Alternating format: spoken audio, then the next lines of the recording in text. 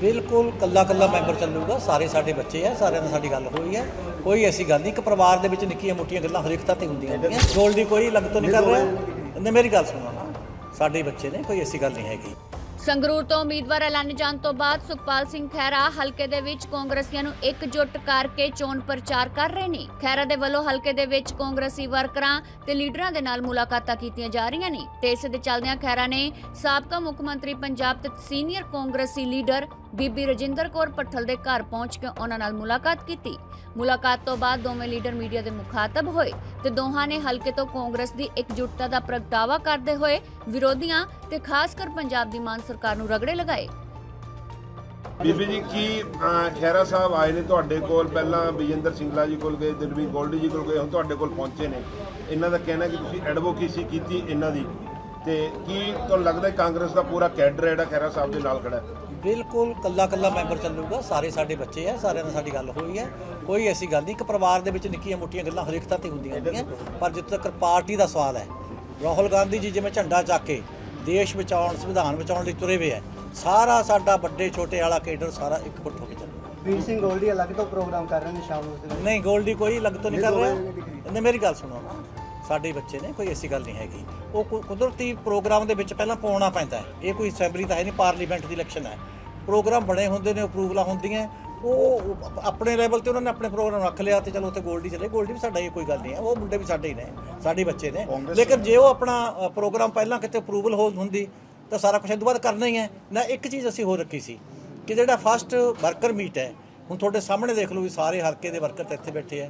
ਹੁਣ ਉੱਥੇ ਜੇ ਗੋਲਡੀ ਜੇ ਇੱਧਰ ਲੈ ਜਾ, ਉੱਧਰ ਲੈ ਜਾ, ਹੋਰ ਕੋਈ ਵੀ ਵਿਚਾਰਾ, ਕੋਈ ਮਾਨਸਾ ਤੋਂ ਆ ਕੇ, ਉੱਥੋਂ ਆ ਕੇ ਆ ਗਏ, ਉਹ ਮਿਲਣ ਕੋ ਜਦੋਂ ਮਰਜ਼ੀ ਮਿਲਣ।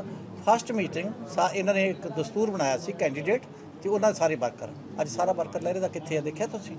ਇਸ ਕਰਕੇ ਇਹ ਵਰਕਰ ਮੀਟਿੰਗ ਰੱਖੀ ਹੈ। ਅਸੀਂ ਇਹ ਵਰਕਰ ਮੀਟਿੰਗ ਵਾਸਤੇ ਸਾਰਿਆਂ ਨੂੰ ਚਾਹੁੰਦੇ ਹਾਂ ਇਕੱਠੇ ਆ ਕੇ ਚੱਲੋ। ਨਿੱਕੇ ਮੋਟੇ ਗੁੱਸੇ ਪਰਵਾਨਾ ਚਾਹੁੰਦੇ ਨੇ, ਸਾਡੇ ਬੱਚੇ ਨੇ, ਕੋਈ ਗੱਲ ਨਹੀਂ ਸਾਡੇ ਕਾਂਗਰਸ ਨੂੰ ਮੰਗਣਗੇ ਅੱਜ ਵੀ।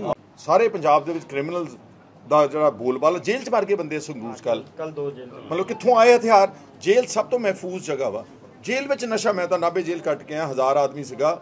ਇੰਨਾ ਨਸ਼ਾ ਅੰਦਰ ਜੇਲ੍ਹਾਂ ਦੇ ਵਿੱਚ ਹੈਗਾ।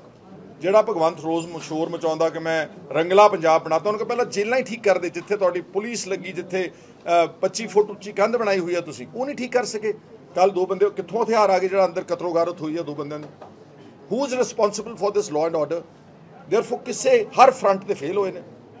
ਜਿਹੜੇ ਵਾਅਦੇ ਕੀਤੇ ਉਹਦੇ ਤੋਂ ਬਿਲਕੁਲ ਔਰਤਾਂ ਦੀ ਗੱਲ ਕੀਤੀ ਭੈ- ਬੀਬੀ ਪੱਠਲ ਜੀ ਨੇ। 1000 ਰੁਪਇਆ ਸਾਡੀਆਂ ਔਰਤਾਂ ਨੂੰ। ਉਹ ਜੇ ਤੁਸੀਂ ਵਾਅਦਾ ਕੀਤਾ ਫਿਰ ਹੁਣ ਦਿਓ। ਕਹਿੰਦੇ ਸੀ ਜੀ ਅਸੀਂ ਮਾਈਨਿੰਗ ਕੱਲੇ ਚੋਂ 20000 ਕਰੋੜ ਰੁਪਇਆ ਜਨਰੇਟ ਕਰਾਂਗੇ। ਅਕੇ ਕਾਂਗਰਸੀ ਤੇ ਅਕਾਲੀਆਂ ਨੇ ਲੁੱਟ ਕੇ ਖਾਦਾ ਮਗਰਲੀਆਂ ਸਰਕਾਰਾਂ ਨੇ। ਨਾਰਮਲ ਕੋਰਸ ਵਿੱਚ ਰੈਵਨਿਊ ਜਿਹੜੀ ਆ ਪੰਜਾਬ ਦੀ, ਉਹ 200 250 300 ਕਰੋੜ ਰੁਪਏ ਦੀ ਸਾਲਾ ਸਾਲਾਨਾ ਮਾਈਨਿੰਗ ਦੀ ਆਮਦਨ ਹੈ। ਪਿਛਲੇ 2 ਸਾਲ ਤੋਂ ਉਹੀ 2.5 300 ਕਰੋੜ ਰੁਪਏ ਆਮਦਨ ਹੈ।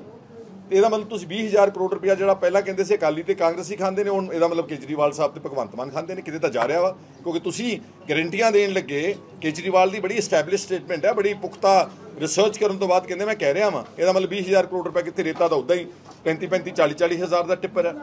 ਮਤਲਬ ਮੈਂ ਕਿਹੜੀ ਗੱਲ ਕਰਾਂ, ਕਿਹੜੀ ਨਾ ਕਰਾਂ, ਸਿੱਧੇ ਮੂਸੇਵਾਲੇ ਦੀ ਗੱਲ ਕਰਨ ਲੱਗਿਆ ਸੀਗਾ। ਬੱਚਾ ਮਰ ਗਿਆ ਉਹਨਾਂ ਦਾ ਦੇਖੋ ਇੱਕ ਹੋਣਹਾਰ ਇੱਕ ਇਦਾਂ ਦਾ ਵਿਸ਼ਵ ਸ- ਪ੍ਰਸਿੱਧ, ਔਰ ਇਹਨਾਂ ਦੀ ਨਲਾਇਕੀ ਨਾ ਮਰਿਆ, ਇਹਨਾਂ ਨੇ ਸਿਕਿਉਰਿਟੀ ਵਿਡਰਾਅ ਕੀਤੀ ਆਮ ਆਦਮੀ ਪਾਰਟੀ ਦੇ ਆਫੀਸ਼ੀਅਲ ਪੇजेस ਤੇ ਬਲਤੇਜ ਪੰਨੂ ਕੋ ਐਡਵਾਈਜ਼ਰ ਜਿਹਾ ਬਣਿਆ ਇਹਨਾਂ ਦਾ, ਉਹਦੇ ਉੱਤੇ ਭਗਵੰਤ ਮਾਨ ਨੇ ਵੀ ਕੀਤੀ ਕਿ ਆ ਫਲਾਣੇ ਬੰਦਿਆਂ ਦੀ ਅਸੀਂ ਸਿਕਿਉਰਿਟੀ ਵਾਪਸ ਲੈ ਲਈ, ਉਹਨਾਂ ਨੇ ਅਗਲੇ ਦਿਨ ਮੇਰੇ ਖਿਆਲ 24 ਘੰਟਿਆਂ 'ਚ ਮੂਸੇਵਾਲਾ ਮਾਰ ਦਿੱਤਾ। 2 ਸਾਲ ਹੋ ਗਏ ਨੇ ਬਲਕੌਰ ਸਿੰਘ ਤੇ ਉਹਦੀ ਮਾਤਾ ਚਰਨ ਕੌਰ, ਇੰਨੀ ਦੁਹਾਈ ਪਾ ਰਹੇ ਨੇ, ਦੁਹਾਈ। ਜੇ ਤੁਸੀਂ ਸਿੱਧੂ ਮੂਸੇਵਾਲਾ ਦਾ ਇਨਸਾਫ ਨਹੀਂ ਦੇ ਸਕਦੇ ਤੇ ਆਮ ਜਿਹੜੇ ਵਿਚਾਰੇ ਸਧਾਰਨ ਵਿਅਕਤੀ ਨੇ ਪੰਜਾਬ ਦੇ ਚ, ਉਹਨਾਂ ਕੀ ਇਨਸਾਫ ਦੀ ਉਮ- ਉਮੀਦ ਹੋ ਸਕਦੀ ਹੈ?